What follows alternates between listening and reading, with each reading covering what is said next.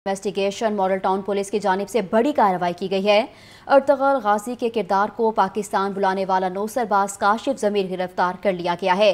आपको यहाँ पर अपडेट करते चलें कि गालिब मार्केट पुलिस ने नौसरबाज काशिफ जमीर को गिरफ़्तार कर लिया है और मुलजिम की गिरफ्तारी के लिए एस एस पी इन्वेस्टिगेशन की जेर निगरानी ऑपरेशन किया गया।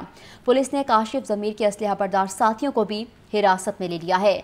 एसएसपी इन्वेस्टिगेशन बिलाल कयूम के मुताबिक मुलजिमान ने पुलिस के साथ मजामत की थी। मुलजिमान नौसरबाज हैं और दीगर थानों में भी फ्रॉड के उनके खिलाफ मुकदमात दर्ज हैं।